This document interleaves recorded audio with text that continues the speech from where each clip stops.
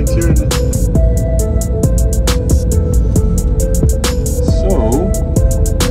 a little bit of clouds, but nothing too heavy. It looks like no rain. In front of us, down between the mountains. That is Breiðamerkurjökull, the outlet glacier Breiðamerkurjökull. And that is a glacier that uh,